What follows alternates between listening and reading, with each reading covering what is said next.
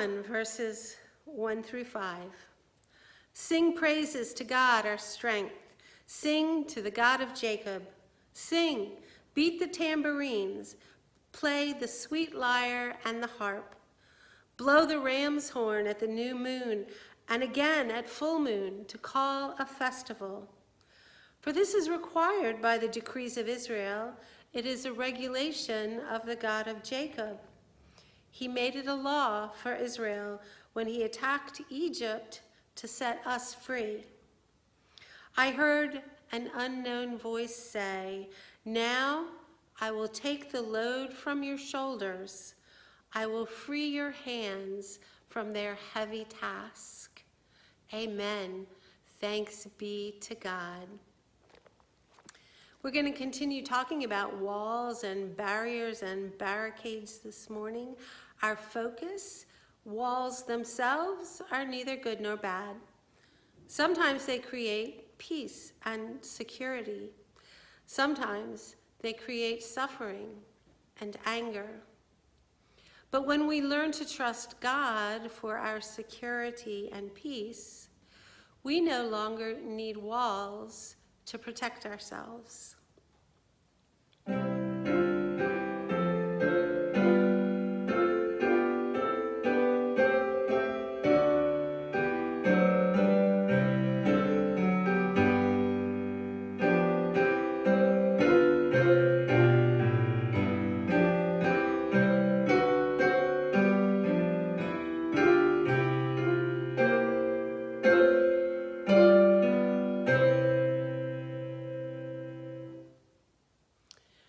First reading this morning is from the letter to the Philippians.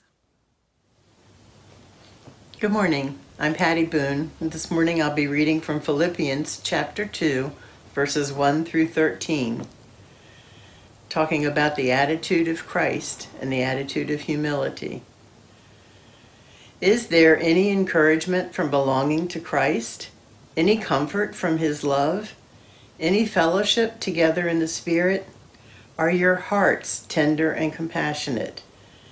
Then make me truly happy by agreeing wholeheartedly with each other, loving one another, and working together with one mind and purpose. Don't be selfish. Don't try to impress others. Be humble, thinking of others as better than yourselves. Don't look out only for your own interest, but take an interest in others too. You must have the same attitude that Christ Jesus had. Though he was God, he did not think of equality with God as something to cling to. Instead, he gave up his divine privileges. He took the humble position of a slave and was born as a human being. When he appeared in human form, he humbled himself in obedience to God and died a criminal's death on the cross. Therefore, God elevated him to the place of highest honor and gave him the name above all other names, that at the name of Jesus every knee should bow, in heaven and on earth and under the earth, and every tongue declare that Jesus Christ is Lord in the glory of God the Father. Dear friends, you always followed my instructions when I was with you. And now that I am away, it is even more important. Work hard to show the results of your salvation, obeying God with deep reverence and fear. For God is working in you, giving you the desire and the power to do what pleases Him. This is the Word of God. Thanks be to God.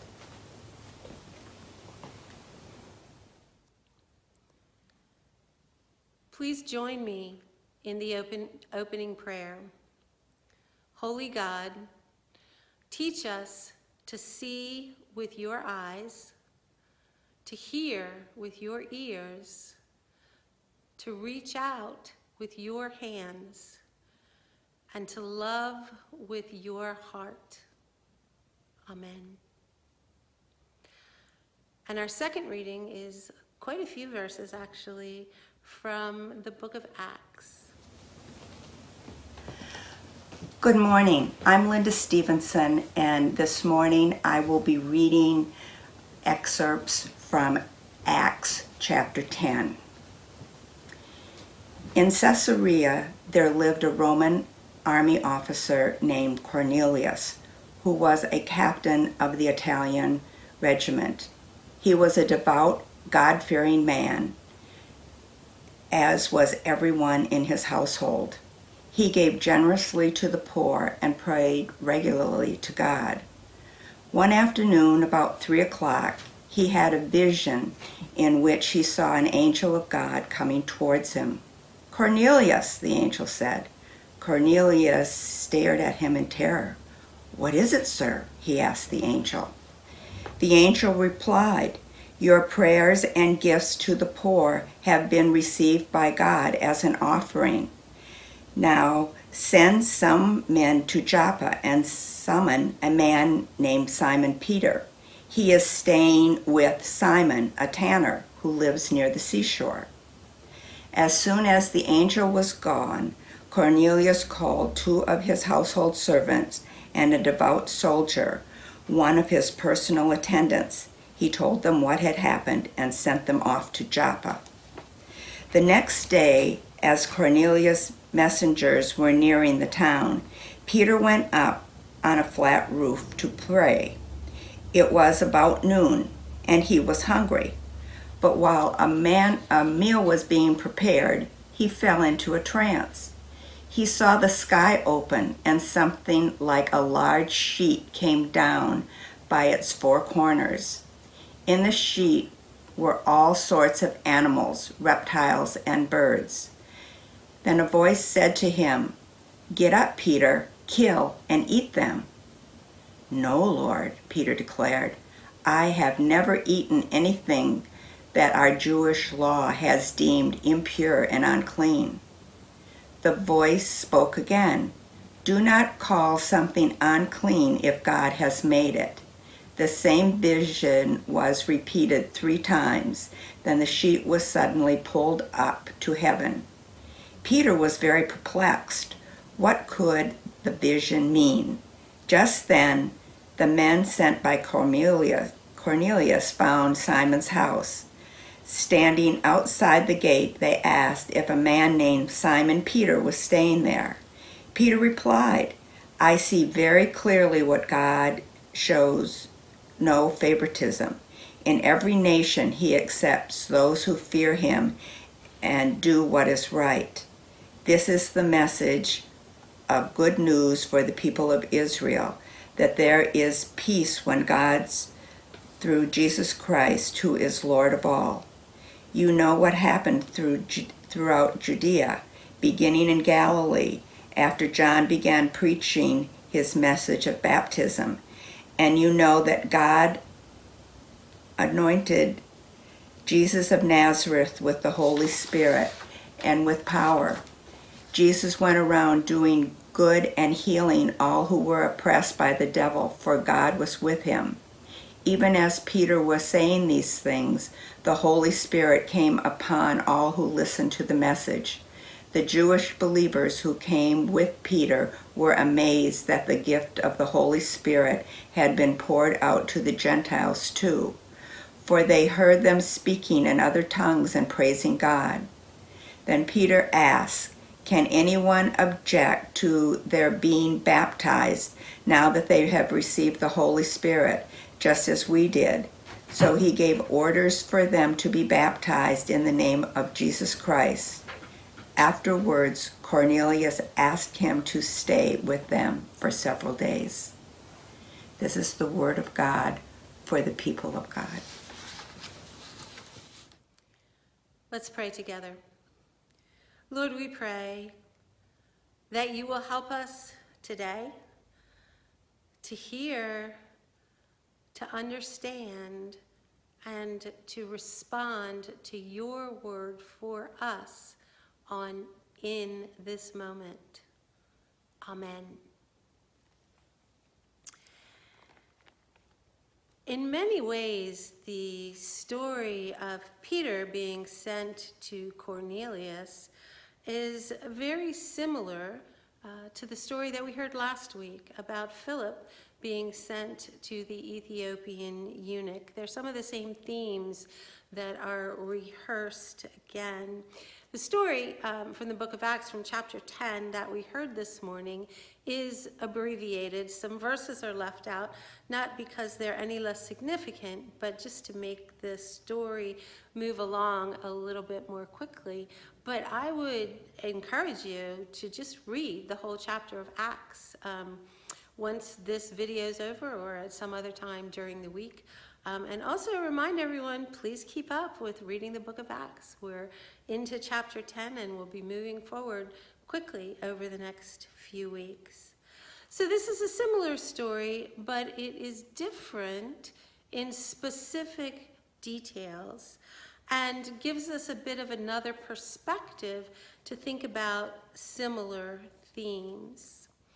The Gentile in this particular story, the outsider in this story is Roman, and he is a captain in the Roman guard. Those are the things that we know about him from the outside.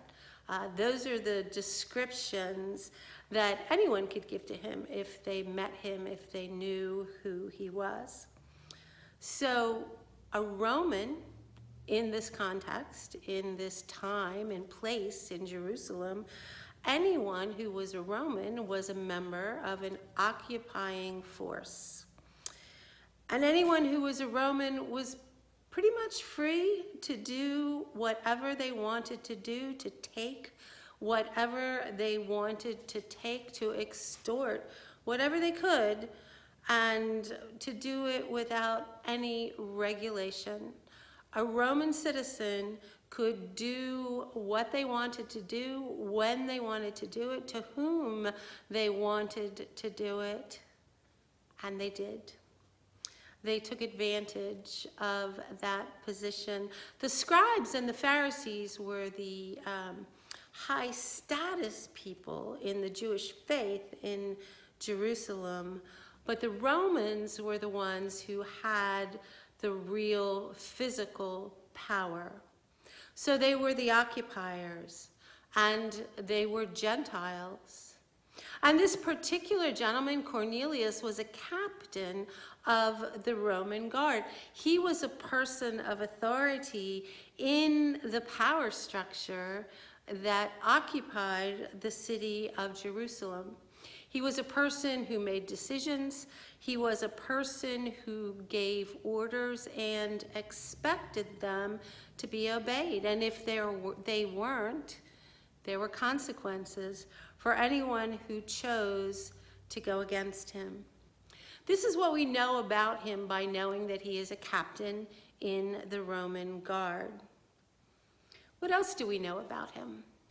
It tells us that he was um, someone who was devout and a God-fearer.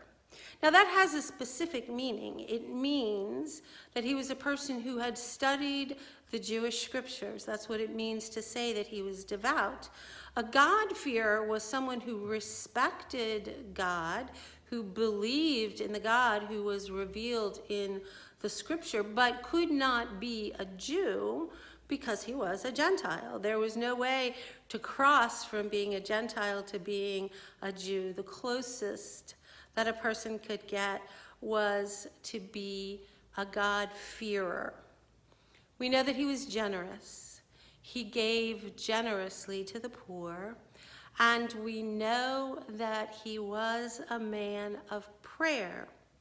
So the outside picture of this man, the assumptions that people might make about him knowing his citizenship and knowing his status are really quite different from the inside picture of the man, the man whom God knew. And we know that this was significant to God, the inside of the man, because the angels tell Cornelius directly, God has noticed God has received your offerings, and God has this response for you. God noticed that he was a man, no matter what label he uh, was given, who loved God and loved neighbor. And that was significant, where the label didn't matter. Now, for Peter, this was a significant hurdle which was going to have to be cleared before he could begin a relationship with this man. The specific issue was the dietary laws, which had been a part of his life for his entire life. He had observed the dietary laws. He understood that they were one way of sharing his love and his respect and his devotion to God. And they defined who he was. He was a Jew. He was set apart. He was uniquely called in this time and in this place. And all of that was defined for the outside and for Peter himself by the dietary laws which he followed. But those dietary laws separated him from the Gentiles. He was not allowed to invite Gentiles into his home. He was not allowed to go into the homes of Gentiles. He was not allowed to break bread with Gentiles. So the angels and the Holy Spirit get involved once again to bridge this gap, to help to dismantle this wall.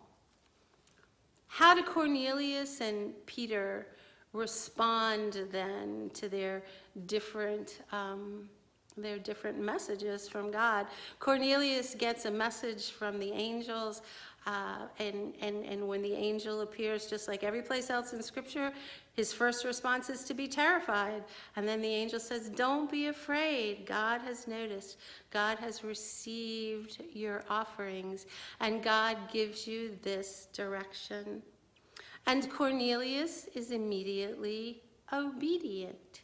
He doesn't ask questions.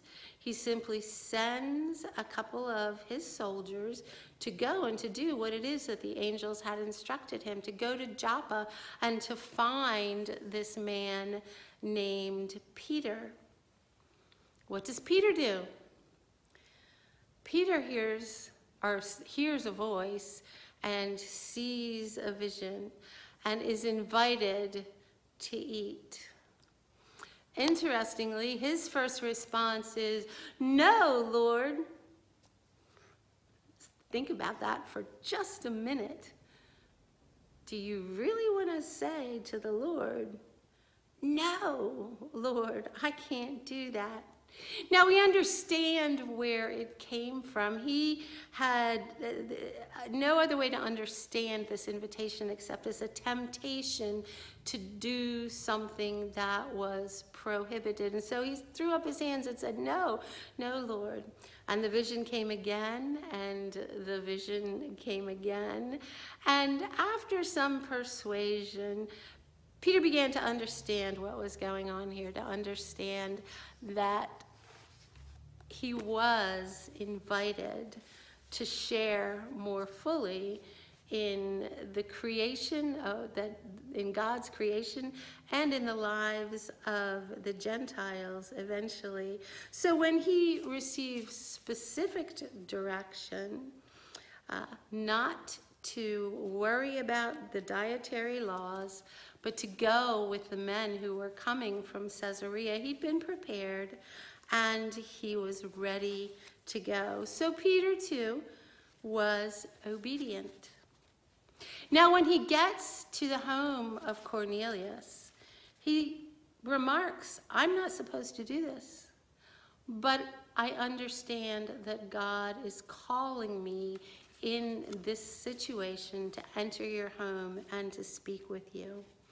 And then Peter tells the gospel story.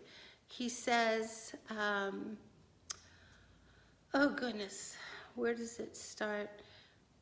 This is the message of good news for the people of Israel that there is peace with God through Jesus Christ, who is Lord of all. He goes on to talk about the healing and the other ministries that Jesus engaged in in his lifetime and ends with they put him to death by hanging him on a cross. But God raised him to life on the third day. One more time in capsule form. Peter is obedient. Peter shares the gospel, and then when it becomes apparent to him again that the Holy Spirit has come in power into this household and already blessed this man Cornelius, he reaches out and offers the sign of baptism. He reaches out and embraces Cornelius with the grace of God. We've seen this pattern three times now obedience, willingness to tell the gospel story, and the embrace of God's love through the gift of grace. It is completely consistent with the commandment to love God and love neighbor. It is completely aligned with the teaching that all of the law is fulfilled in the choice to love. It is orchestrated and it is sustained directly and immediately by the whole the Holy Spirit. Three times now we have seen this pattern repeated. We can take encouragement here. The early church was experiencing a moment of wrenching change. We shouldn't underestimate the, um, the significance of the changes that they were facing and of the hmm, new things that they were called to do different from the way that they had always done them before. It truly was a time of wrenching change. And when we find ourselves in a time when so much is changing around us, so much that we don't want to change, so much that we don't want to control, we can take encouragement in these stories because it is out of this time that the new church bloomed and mushroomed all over um, the Mediterranean world.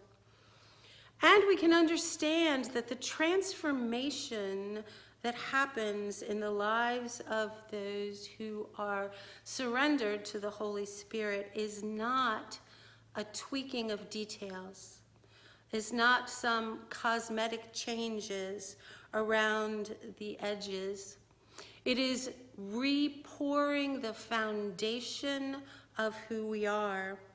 And the two certainties that we're left with are the gospel message God loved us, sent Christ to restore and redeem us.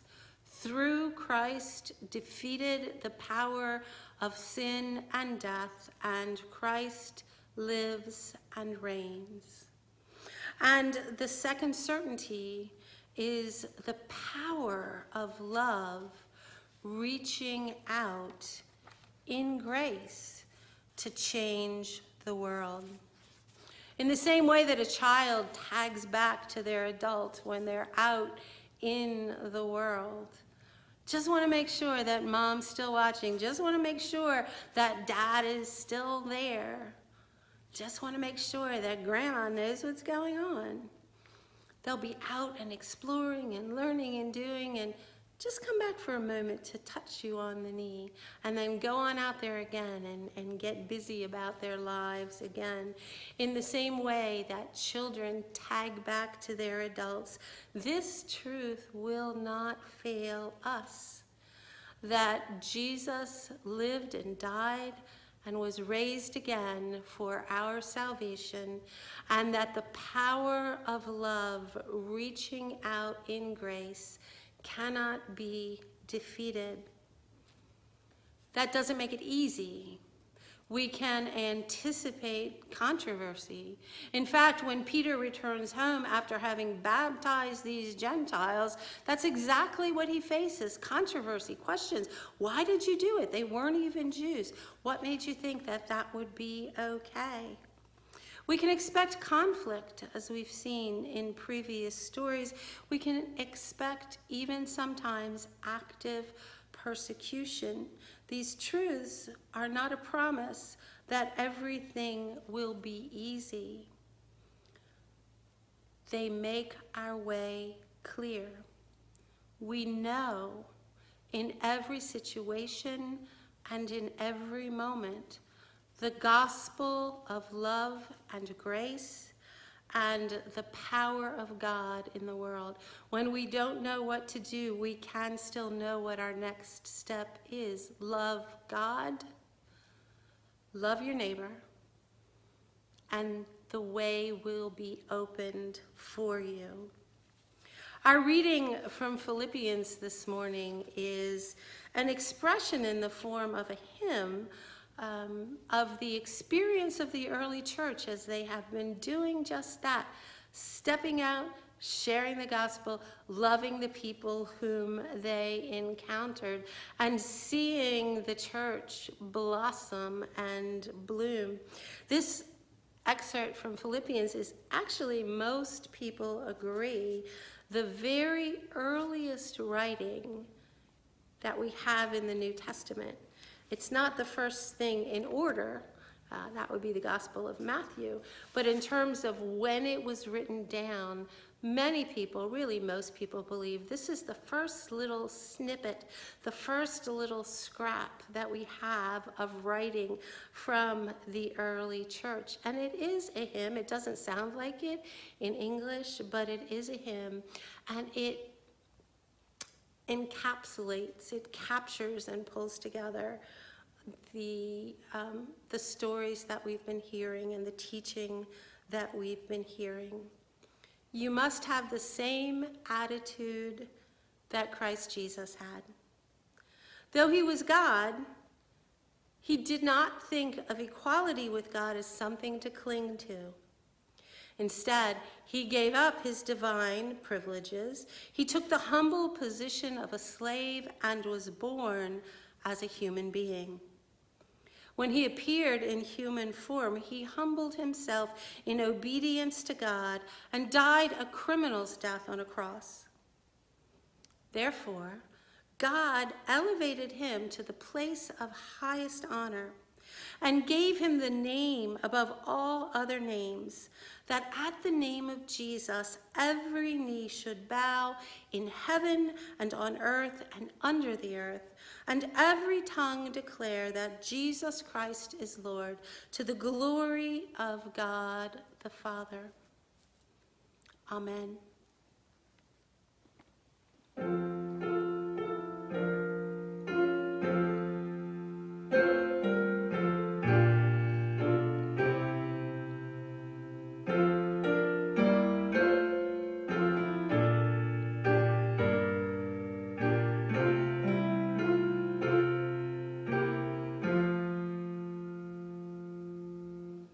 Let us pray. God of love and God of power,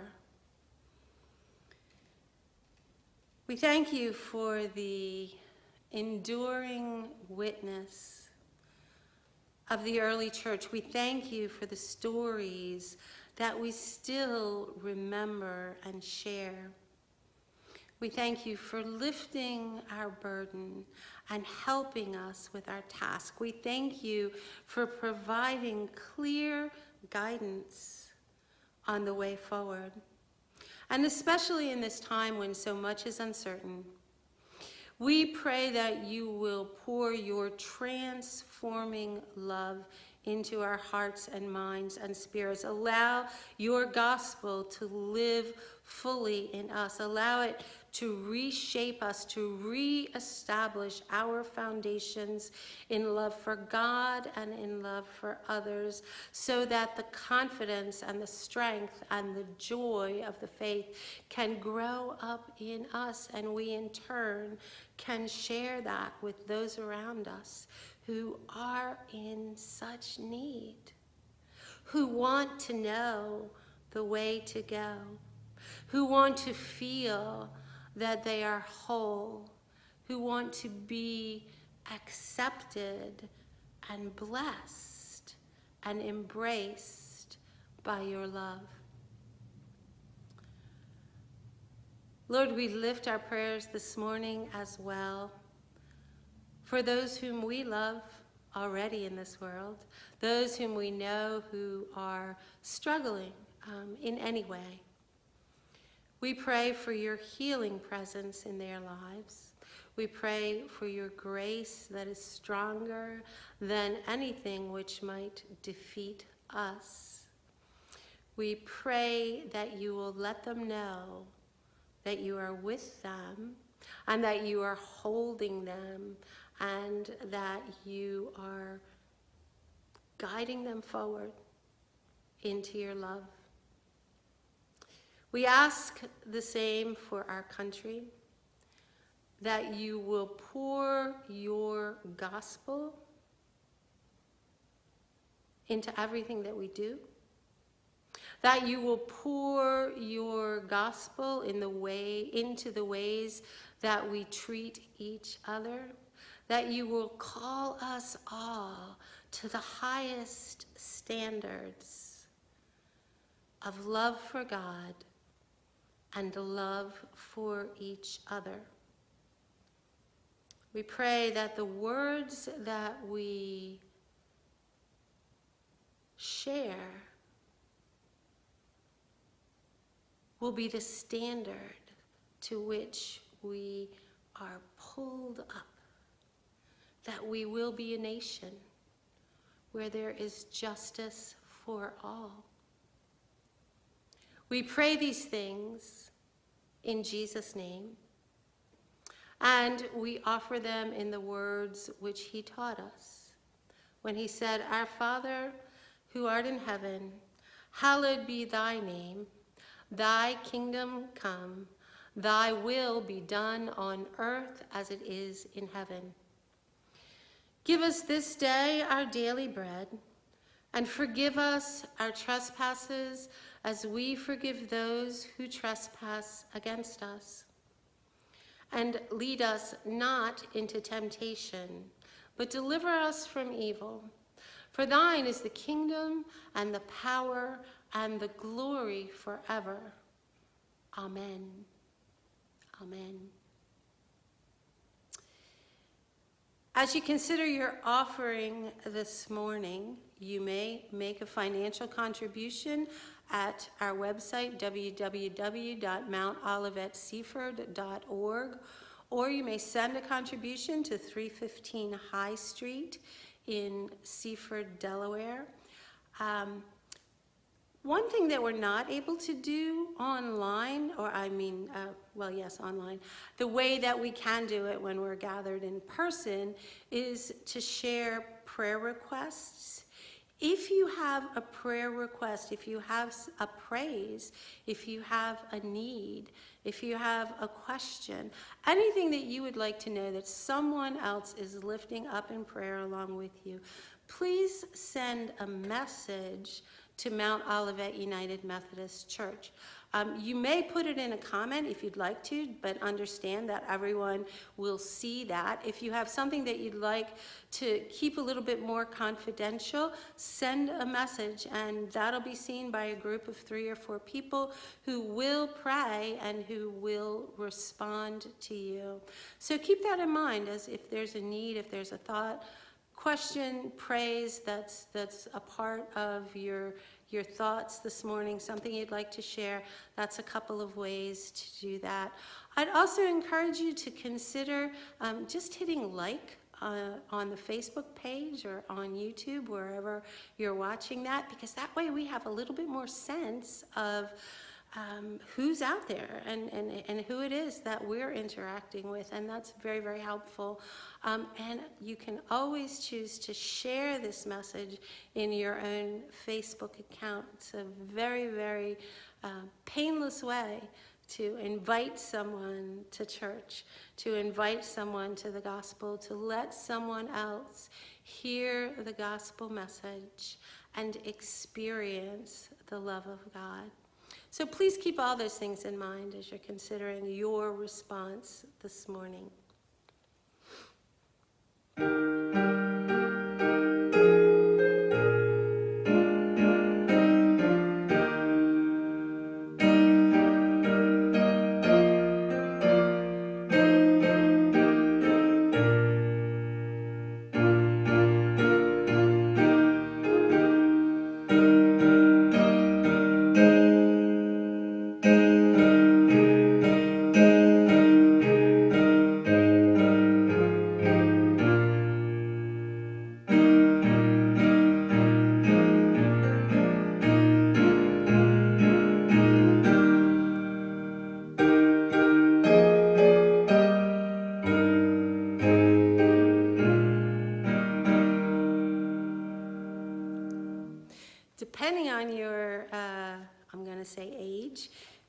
That song was played, you may have heard Onward Christian Soldiers.